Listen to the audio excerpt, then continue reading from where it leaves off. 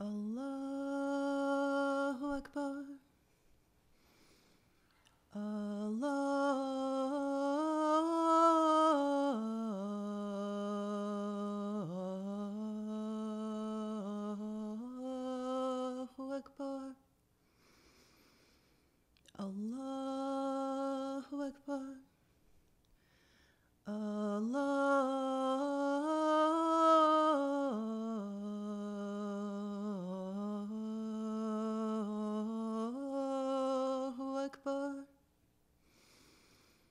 أشهد أن لا إله إلا الله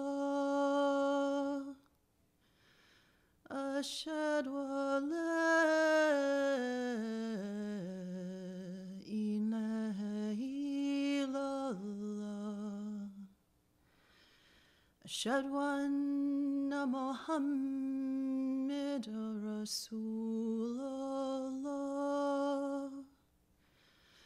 أشهد أن محمد رسول الله حي على الصلاة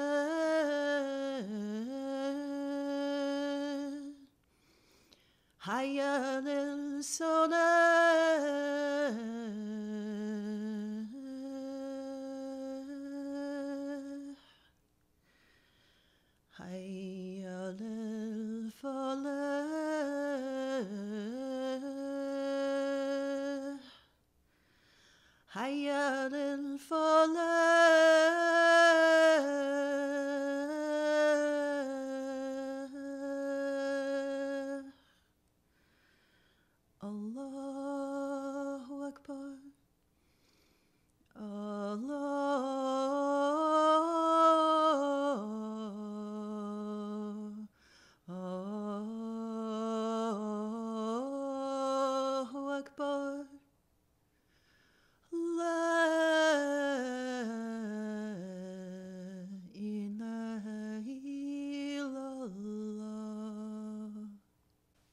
الله أكبر الله أكبر. الله أكبر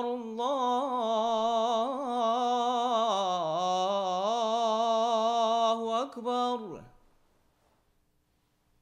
أشهد أن لا إله إلا الله. أشهد أن لا إله إلا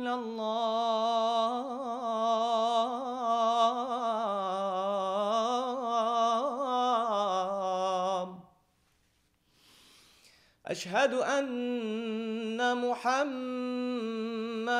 رسول الله.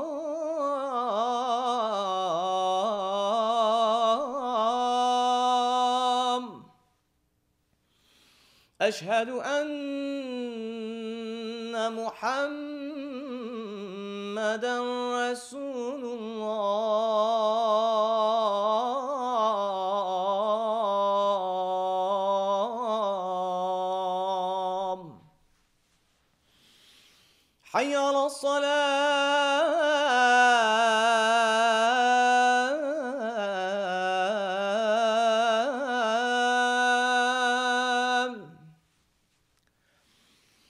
حي على الصلاة.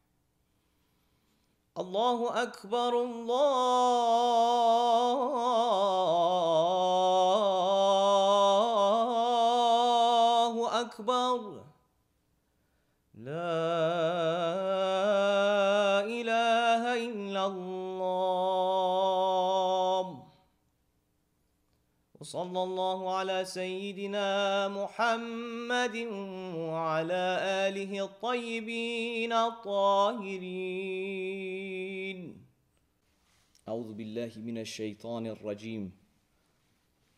بسم الله الرحمن الرحيم. الحمد لله نحمده ونستعينه ونستنصره.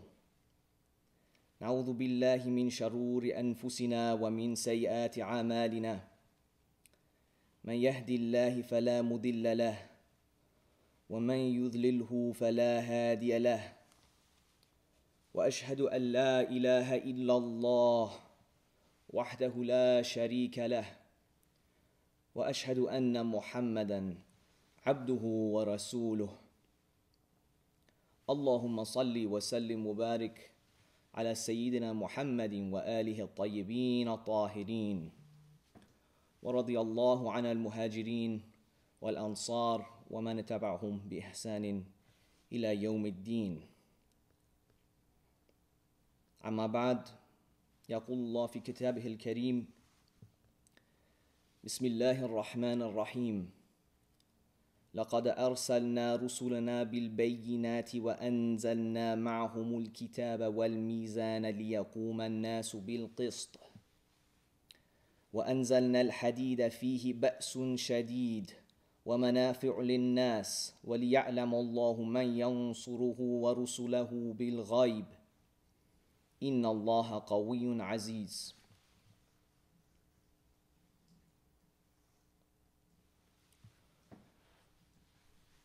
بسم الله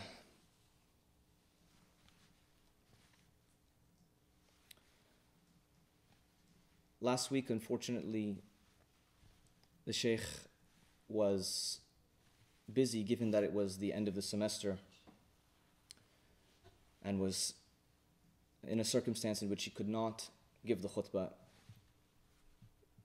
This week, unfortunately, he has been suffering from health challenges and complications.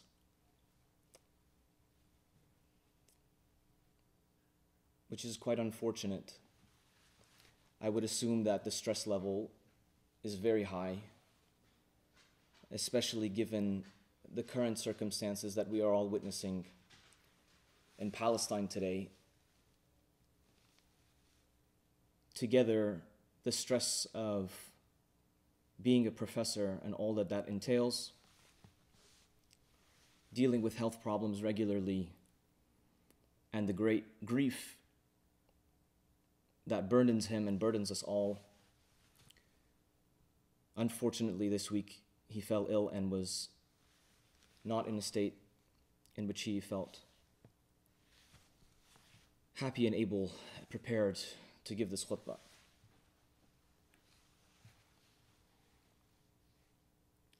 Thus, I'll do my best to fill the podium space. If I offer something of value, alhamdulillah. And if I misspeak, um, it is my own fault and not the fault of my teacher.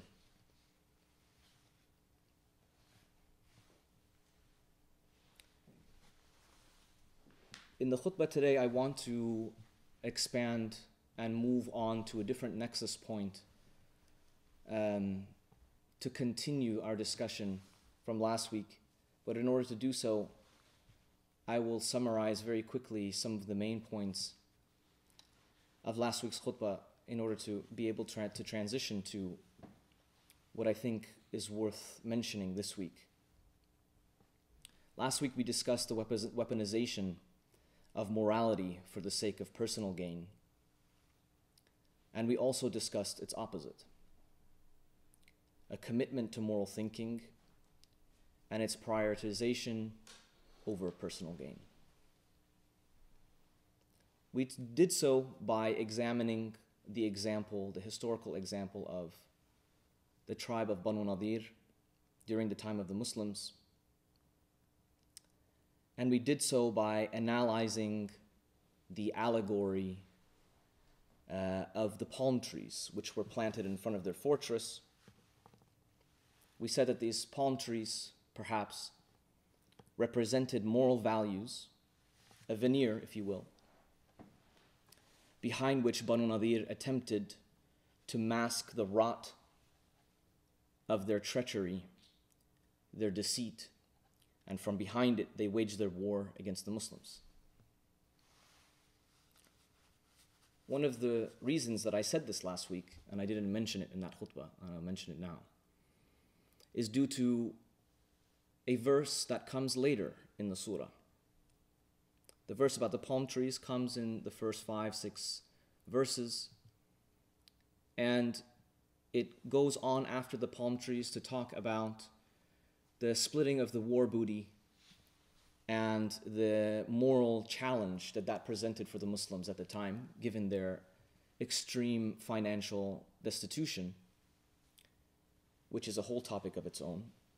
Another success by the Muslims, moral success And it returns to the moral failure of Banu Nadir and those who stand against the Muslims, at least the Muslims of that time. And it says of them, لا يقاتل لا يقاتل لكم جميعا إلا في قرى محصنة أو من وراء الجدر بأسهم بينهم شديد تحسبهم جميعا وقلوبهم شتى ذلك بأنهم قوم لا يعقلون And I translate, translate this to mean that they will not fight you or oppose you collectively, save in fortified strongholds or from behind walls. Their discord or their conflict between themselves is fierce. You suppose that they are together, yet their hearts are divided. That is because they are a people who lack moral sense.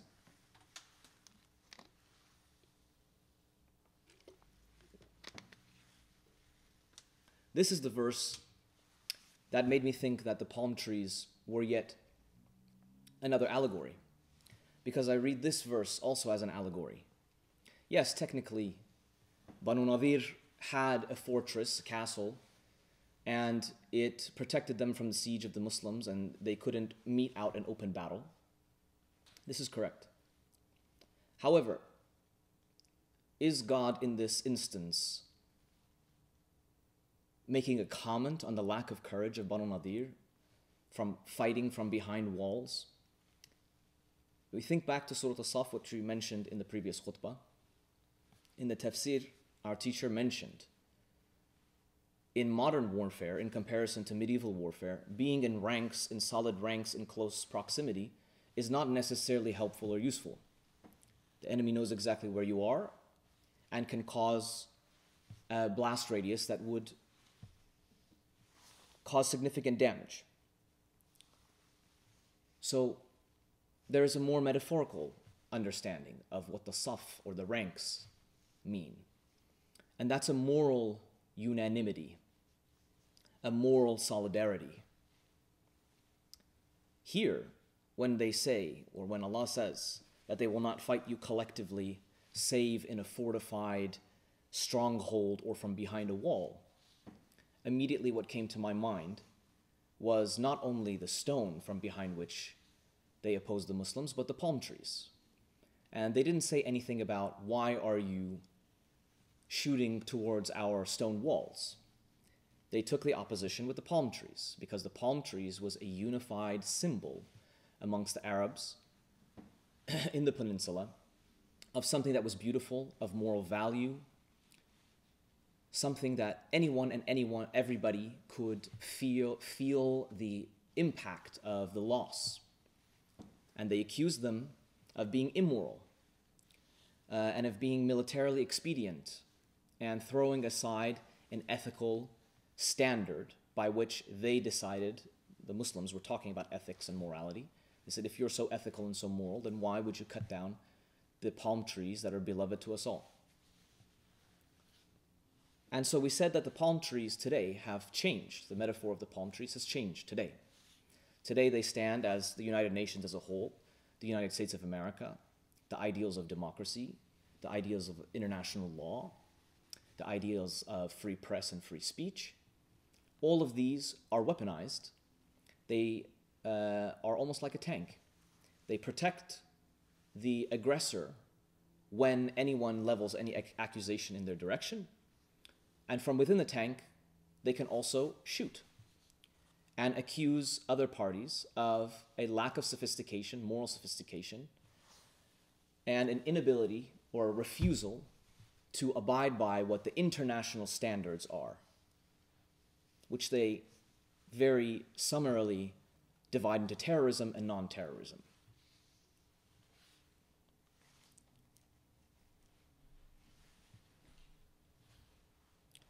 But there was a very interesting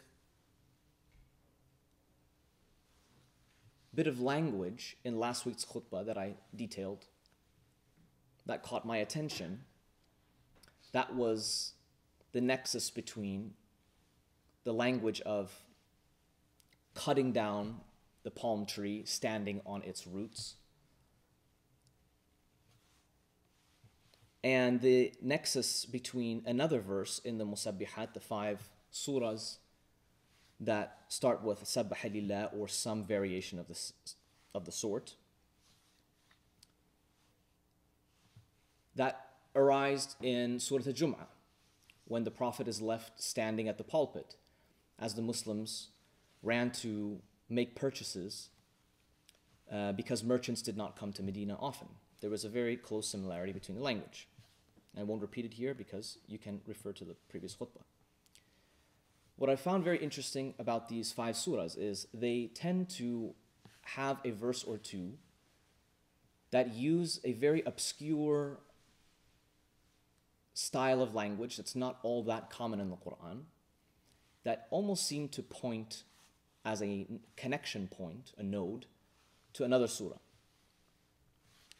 One of them in Surah Al Hashr has a node with Surah Al Hadid. In Surah Al Hadid, the verse that I quoted at the very beginning, the translation reads as We have indeed sent our messengers with clear proofs, and we sent down the book and the balance, the mizan, with them, such that the people would uphold justice ليقوم الناس بالقسط and we sent down iron wherein is great conflict or difficulty and benefits or goodness for mankind there there is this very interesting language ba'sun shadid the ba'sun shadid that we read about in surah al-hashr was this conflict this seeming projection of a unanimous front that, again, the word, projected strength to the Muslims and made them feel surprised or perhaps even doubtful as to whether their military campaign or their standing up to Banu Nadir would be successful. Because there was a projection from Banu Nadir that we are strong, we have strong allies, we are behind stone walls. And we have these palm trees, and we have the language of morality that we can wage upon you as a weapon to be an interlocutor uh, in this psychological warfare, so to speak. That was the way that the word was used, ba'sun, or the phrase rather, ba'sun shadid, ba'suhum baynahum shadid. But that same type of language also arises in Surah Al Hadid in the verse, in the instance that we just said.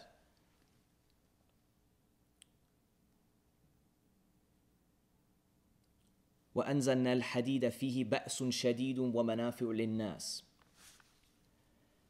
And we sent down iron wherein there is great conflict or difficulty, as I have translated it, and manafi', benefits or goodness for mankind. So again, ba'sun shadid arises. There are several other instances in the Quran where ba's or ba'sun shadid refers to a military or military might. But those are quite separate and quite obviously not linked to something here that can be read very metaphorically. I refer us quickly to a few verses before to understand the impact of the verse, the main verse, I think. Uh, and I think perhaps the tafsir might agree as it highlights this verse as the dhikr, the very special verse in Surah Al Hadid. But something to consider here. There is a verse a few verses before, just a few verses before, that says ما أصاب من مصيبة في الأرض ولا في أنفسكم إلا في كتاب من قبل أن نبرأها إن ذلك على الله يسير The translation is No calamity befalls the earth or yourselves except that it is from God's decree before we bring it into being. Verily, that is easy for God. The point here that I want us to emphasize and think about is the challenge of calamity the challenge of trauma, the challenge of conflict. And immediately after that verse, Allah subhanahu wa ta'ala gives more context to understand the verse before it. Why? Why is there, why would Allah decree the reality, not the specifics, but decree the possibility for trauma and difficulty? He says, لكي لا تأسوا على ما فاتكم ولا تفرحوا بما آتاكم. Know so that you do not know this, this is so that you do not despair over what good has escaped you, or exult unduly over what good has come to you. Wallahu la yuhibbu, kulla mukhtalin fakhur. God likes not the self centered or the self absorbed. I've taken some liberty with that translation, but this is how I understand the verse. The self absorbed and the self centered. What is the contrast? The contrast comes a mere verse or two later, which we discussed. That we have sent our messengers, we have sent the book, we have sent the proofs, and we have sent with them the balance the mizan, so that people will rise, uphold, establish justice. What is the connection between trauma, conflict, difficulty, pain, these great teachers, and the concept of balance? And if you look into the tafsir, the concept of Al Hadid. The tafsir talks about how Al Hadid is a metaphorical example for the soul of a believing, just person who undergoes the fire of transformation through pain and difficulty, and out of that re emerges and molds like a solid piece of iron strong, principled, unshakable, undeterrable, in order to uphold what the messengers have sent with the clear proofs, which is establishing the balance. أقول قولي هذا واستغفر لي ولكم بسم الله الرحمن الرحيم الحمد لله رب العالمين والصلاة والسلام على سيدنا محمد وعلى آله الطيبين الطاهرين I know that first surah is a, uh, the first khutbah is a heavy lift. but maybe if we go through a few examples, we can think about how to make sense of the first khutbah. There's a recent report from CNN in a day or so ago about the changing approach, the change in language that the White House and America in general, the American government in general, but the changing language that the White House is using with regards to the Israeli government and Israel's uh, military operation in Gaza. Some of, some of it reads Joe Biden held Israel closer than any American president ever in ever has in the horrific days after the Hamas attacks on October 7th. But more than two months later, following days upon following days upon end of Israeli strikes in Gaza that have killed thousands of civilians, unprecedented tensions over the war are widening between the White House and the government of Prime Minister Benjamin Netanyahu. Biden accused Israel, for example, of carrying out indiscriminate bombing in an off camera political event this week. He used exceedingly blunt language, which typically causes pushback from Israel's leaders, who insist they try to spare civilians but accuse Hamas of using innocent Palestinians as cover. Diplomatic rifts are deepening as a new U.S. intelligence assessment, exclusively reported by CNN on Thursday, shows that nearly half of the air to ground munitions used by Israel in Gaza have been unguided, not precision, unguided so called quote unquote dumb bombs. This is an amazing example of Ba'suhum Bainahum Shadid. At the beginning of this conflict, there was almost a 100% tacit green light approval from Biden's administration. Israel could do no wrong. Palestinians couldn't even be bothered to be mentioned. In fact, Biden sta- stood at a lectern and lied openly about seeing pictures of decapitated Israeli babies. He never apologized, he never walked it back. There was a half sentence from uh, the press, whoever's in charge of the press with the White House, that said, well, perhaps he hasn't seen it, and those reports, as they were obviously debunked, um, did not come from a source that we are aware of, etc., etc. Uh, he's just repeating what he heard. A very quiet walk back, not a public one, and not one done by Joe Biden himself. Nonetheless, that was the language that he was employing, knowing full well that that would result in genocide. I do wonder whether this language has begun to change given the recent polls that seem to suggest upwards of 60 or 70% of Democrats fully oppose Joe Biden's response to the military operation in Gaza. The overwhelming international pressure from both um, demonstrators, but also a near unanimous UN declaration that opposed uh, the war in Gaza and called for a ceasefire.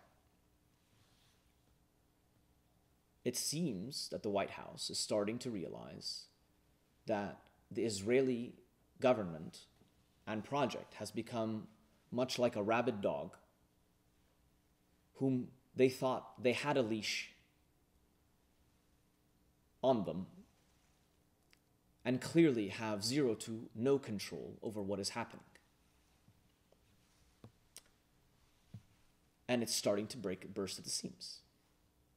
The conflict is starting to show. And it seems that the US is concerned about its regional partners and its other goals in other regions. And Israel is once again proving to be one of the weakest points or a weak Achilles heel for the United States. Let's look at another few news items. This is from NBC News, and this is from early December. They speak about a video which was filmed about two weeks after the, a hospital was evacuated. If you remember, there was, when they took over the hospitals in Gaza during their ground assault, there was alarm bells being rang by the international community, Doctors Without Borders, etc., etc., that the uh, natal care units were um, going to be shut down. The ch- children and the babies would not be able to be cared for. And they had a lot of issues, and they said, Leave the hospitals alone. And they said, No, no, no, we must go into the hospital because it is a base, and there is a list, uh, as we, that was a funny video that then got mocked for another month to try to beef up the Israeli propaganda as to why they can flatten any and every structure universities, mosques, churches, hospitals, etc. In any case, they, evacu- they evacuated this hospital despite the international outcry about what would amount to a general palm tree the lives of children, newborns. It says that the, after, two weeks after the hospital was evacuated, they go in and they have uh, film footage which appears to show at least three of the five dead infants with their bodies putrefying in close proximity to catheters and ventilators. One baby is seen decomposing while lying alone, appearing to still be connected to an oximeter with a green oxygen tank nearby. Insects appear to crawl on its chest. A bedsheet is used as a soft pillow, and an empty bottle and a medical glove box are shown closer to the bed's edge, etc., etc. And just this week, Jazeera reported, and it was not just reports because they published the eyewitness accounts from the individuals who uh, gave this testimony. Civilians sheltering inside a Gaza school killed execution style. Family members searching for missing loved ones say they found their dead bodies inside classrooms killed execution style. The dead included men, elderly people, women, children, and even newborn babies. What does Israel and the United States have to say about this?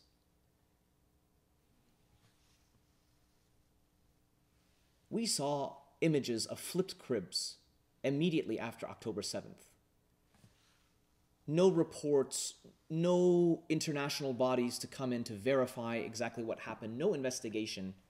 And immediately, everyone was to take the hearsay of the Israeli government, who are known to be open liars at this point. If you take anything that the Israeli government says at face value, I do not hesitate in calling you an absolute idiot. You are an idiot if you accept what they say. The fact that Joe Biden can stand up there and immediately say, well, that's the Gaza health ministry, so we don't really know the amount of dead.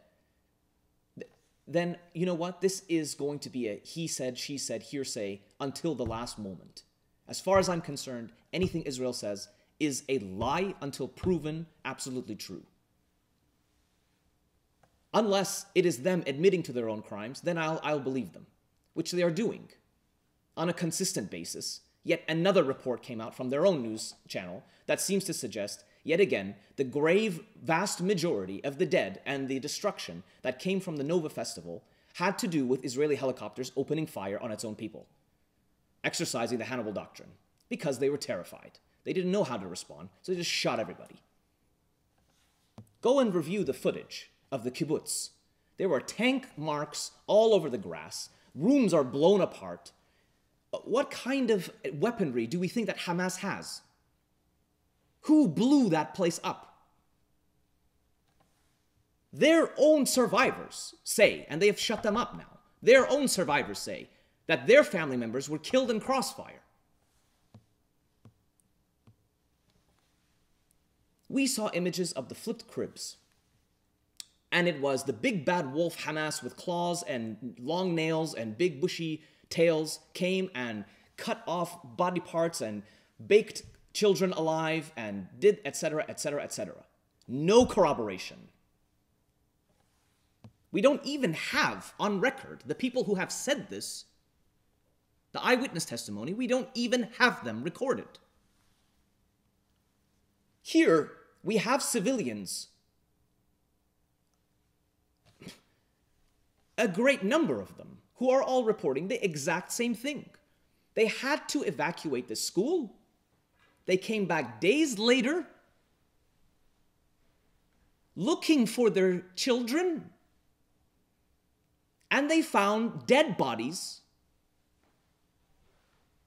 with bullet holes in the back of their heads.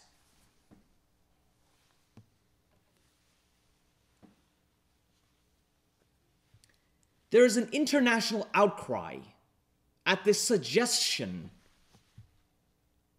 of any harm towards an Israeli newborn child, anything of the sort. They made an absolute stink about, oh, it's believe all women until Israeli women claim to be sexually assaulted. Yet again, They weaponize and put place veneers on the rotting teeth of the lies from the lies that they are perpetuating. And spray mouthwash or something to try to hold back the stink of their moral decrepitness. Accuse the entire world of doing something and do the exact same themselves.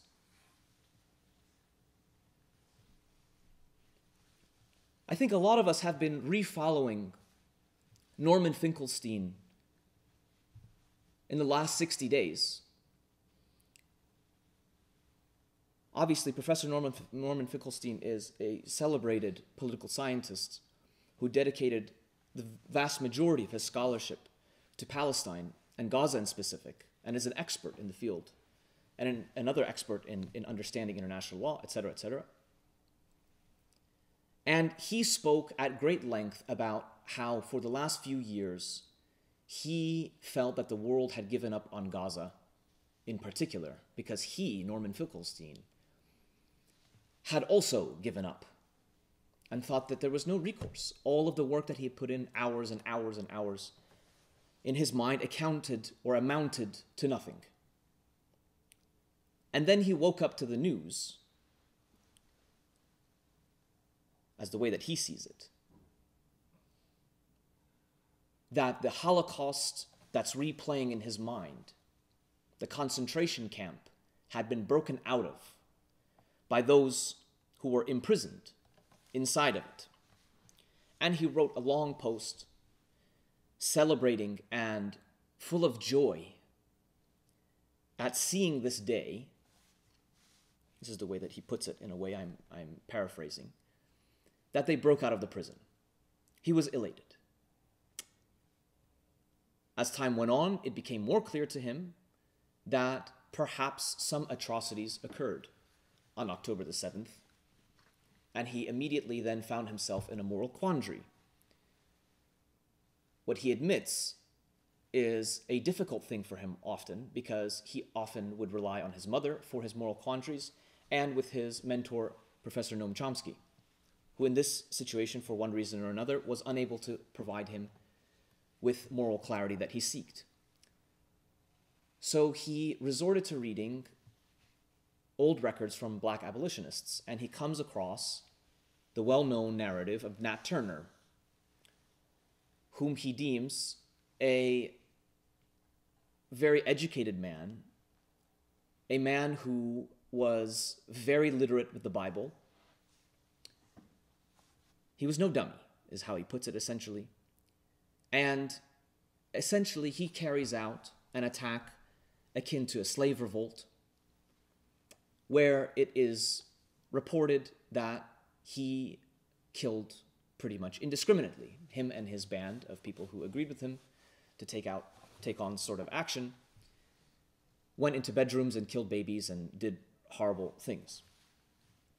Now this was not a precedent for which he then jumped at to say this was agreeable because ultimately what Nat Turner did put pressure on uh, the American government and the American people and the American culture to say let these people you know breathe and free them from slavery or else they'll kill us all.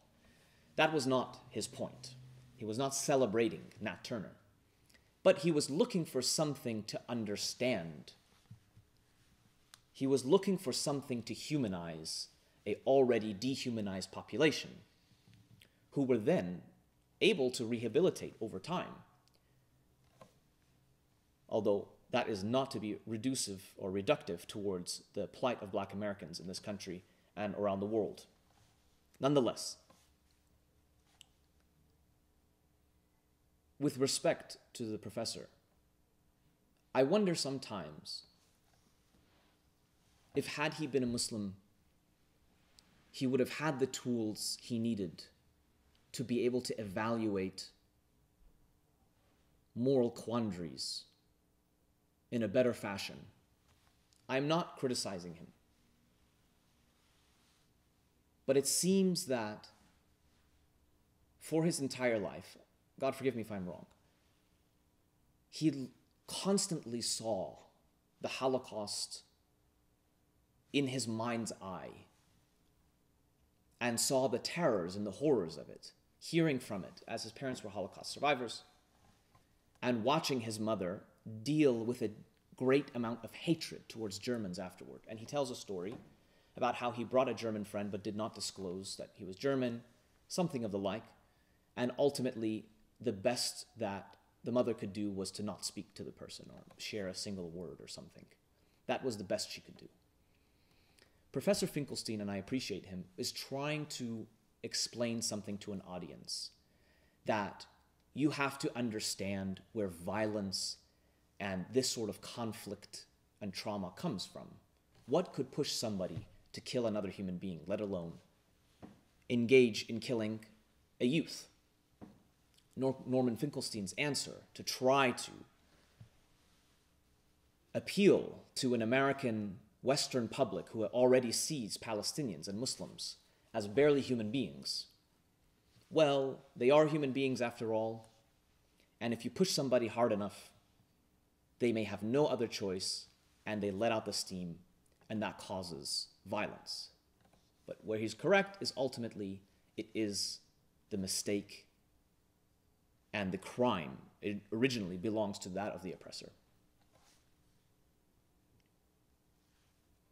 A final point to round out the difference between those who are stuck in a moral quandary and those who are raised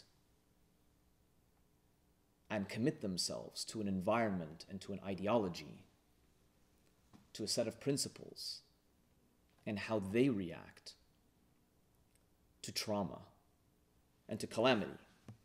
We all know the celebrated journalist Wa'il Dahdouh, the Al Jazeera journalist who some weeks ago his entire family was slaughtered. And he survived.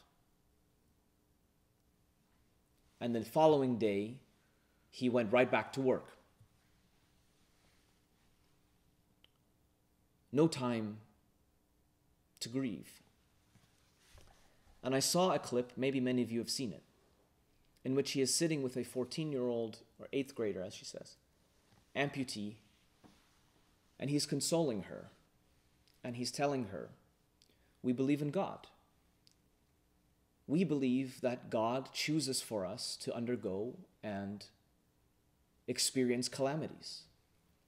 And it's our response uh, is what matters. If God wishes to take your legs, then that is his business. And we submit to his will and we continue on resisting. Muqawama, he says. We con- continue our resistance.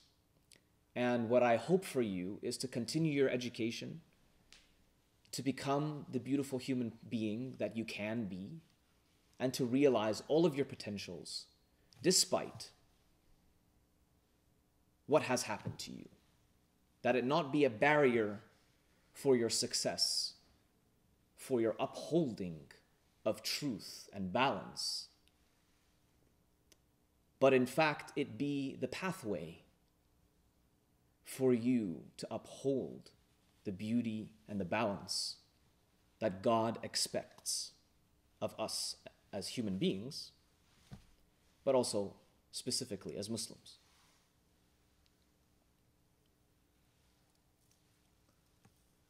Let us now return to the conceptually dense material that I presented in the first khutbah.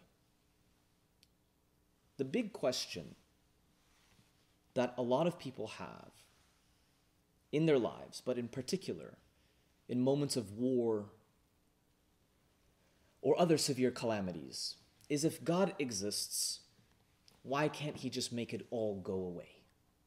Isn't that then God's fault? Evil exists because God allows it to, they say.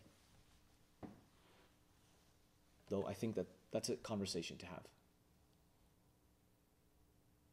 So, why doesn't He just make it go away? If He's so all powerful and He asks you to pray to Him and pray to, you know, at His altar or pray in His church or His synagogue or His mosque or whatever have you. Everyone is asking and begging in Gaza and Yemen and all over the place Please, God, will you spare my children? Some children are spared, and some children are slaughtered, and some children are maimed. Men, women, elderly, all people.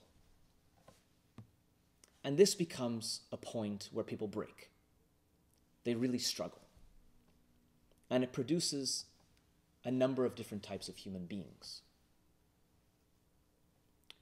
One example is Norman Finkelstein, someone who has inherited the trauma of perhaps one of the worst human events in human history the Holocaust. And I could imagine if I was Professor, Professor Finkelstein, hearing the stories of my parents and of the grandparents, I would almost wish that I was there to try to do something different. I would wish that I was part of the Warsaw Ghetto uprisings, that I could do something. And I think that if I understand him correctly, he sees the world in terms, well, let's think about it. What is the thing that we always hear with regards to the Holocaust? It's almost a principled dogma. Never again. Never again. Norman Finkelstein, Professor Norman Finkelstein, being the contrarian that he was, thought critically about this and said, yes, never again is a fantastic moral principle that I would like to uphold. And he had the courage to try to commit himself to finding out the full truth about what never again really meant. He challenged himself. But did he have all of the tools that were available to him? Did he have the concept of purification that comes at the beginning of Surah Al-Jum'ah? Did he understand the value of revelation and its integral connection with wisdom? Professor Finkelstein is an incredibly wise individual. But if you coupled that wisdom with what purifies one in our religion and what gives moral precedent when one finds themselves in a moral quandary, that's when one's wisdom and rationality truly shines. And you see that example in someone like the journalist Wa'il Dahdouh, who seems to be a social worker, a journalist, a religious figure, a civilian, a res- hero, resistance hero, a role model, plays all of these roles. And it comes from the value that this very beautiful verse presents in Surah Al Hadid. He was met with trauma, unimaginable calamity. Anyone else in his position, it would be completely understood that they would fall apart. In fact, it might even be understood that he would pick up a gun and walk into a kibbutz and shoot everybody, according to Professor Finkelstein's standards. Not excusing it, but understanding it. Wa'il Dahdouh says no. What I am here to do is to reset the balance. The balance is in imbalance. Someone has come and set it apart, has put the wazn in an in a unbalanced position. And they've done that through spreading darkness in the form of murder, occupation, land theft, cultural theft, etc., etc., etc he comes and tries to set it straight. How? By going into Israel proper and murdering?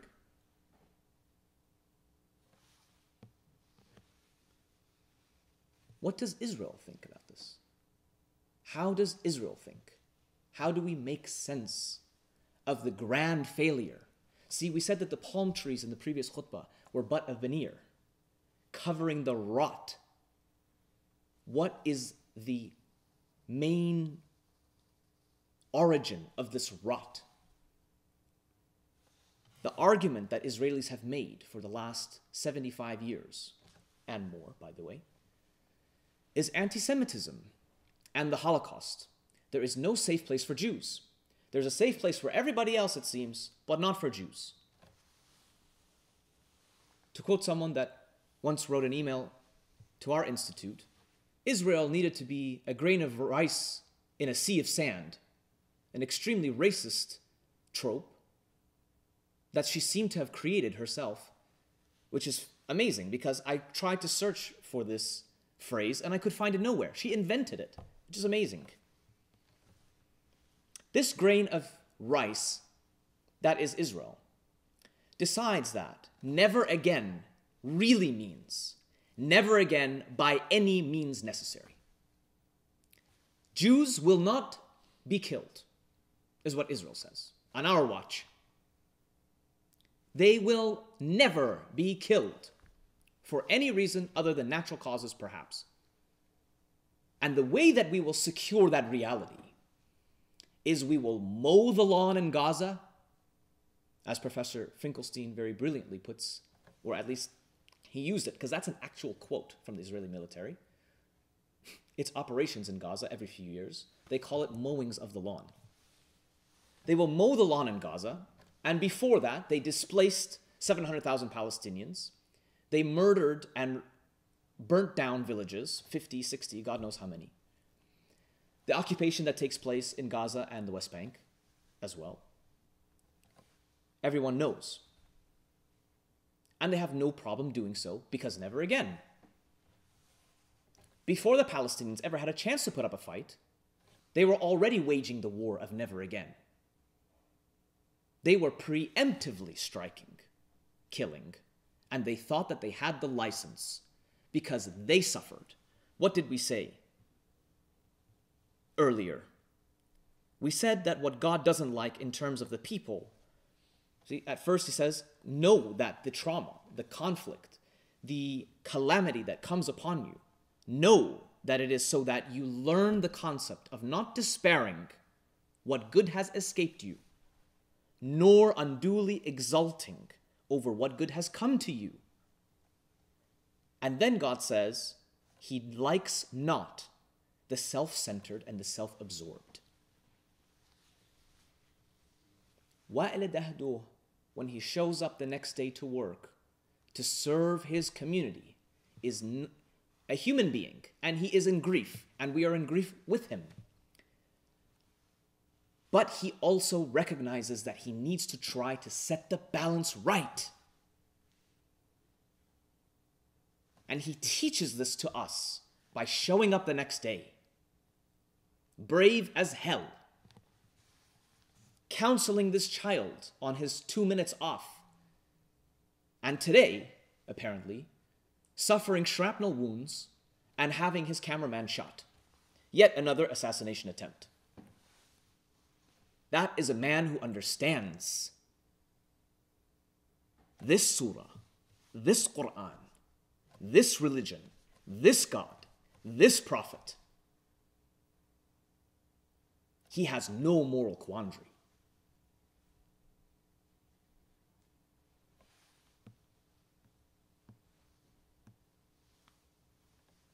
Vengeance is darkness.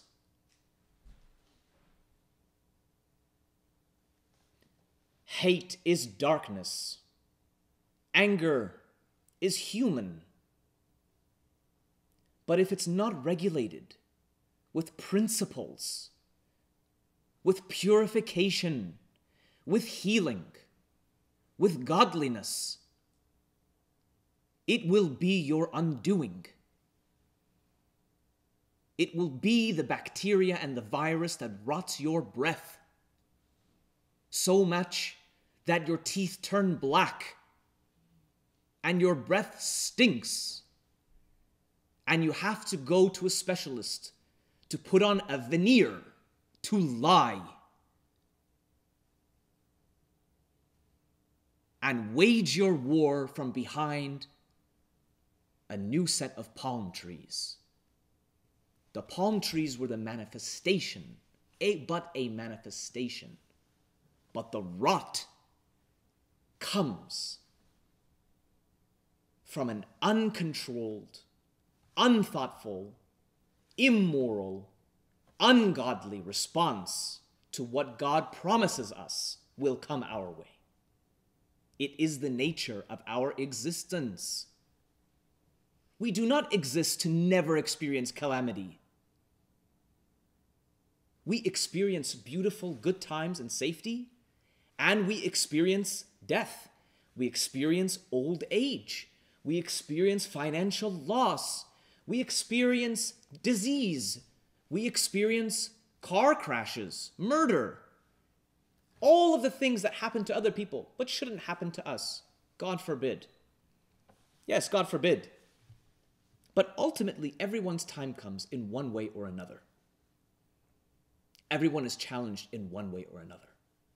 The people of Gaza are in a very clear challenge survive, try not to become hateful people, take care of your family, do not resist, resort to robbery, which, by the way, I haven't heard a single report of any crime coming out of Gaza. There's no food, no water, no nothing. And somehow, the entire world has always told us, oh, we cannot give money to the, uh, the unhoused. Oh, we cannot give money to people who struggle with drug addiction. Oh, that would just help them, uh, and they would just continue being lazy bums. There is no economy. There is all human st- structures have come apart in Gaza. And yet somehow it's running. And it's not Hamas. And it's not Israel. It's the people themselves. Take a lesson from these people. See how they respond. Till today, the accusations that are leveled at any pro Palestinian is you just want to kill us. You just want to destroy the Jews. Ah, you're not even telling the truth. All of this is, ah, that's an anti Semitic sweatshirt. That's an anti Semitic uh, uh, tagline. What a chant. Anything. But I really don't see the level of anti Semitism that they're saying.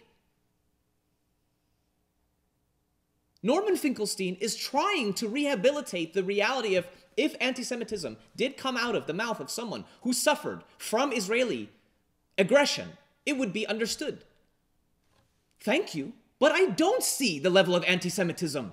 I don't see the racism. In fact, I see SJPs, and I see AMP, and I see Palestinians, and I see Muslim leaders even say we are not anti Semitic. For God's sake, the Hamas charter in 2017 says this is not about Jews. We have no problem with them. This is about the Israeli occupation. We will not be bullied anymore by the stinky rhetoric of the veneer. And I think that the world has now woken up in the form of the, the declaration in the UN. Enough is enough. You want to support Israel, you will be a pariah state. That is what is going to happen to you. And this fake stone architecture that you've built, that you're hiding behind and waging war, and you're hiding behind these palm trees that you have planted, are going to get cut down, they're being found out, and your homes will collapse on top of you. And it didn't come from a single bomb or a single bullet from the other side. It comes by your own damn hands.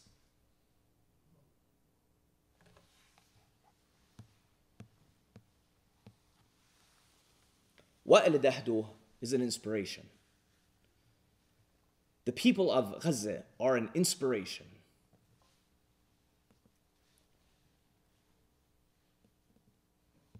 They are my inspiration.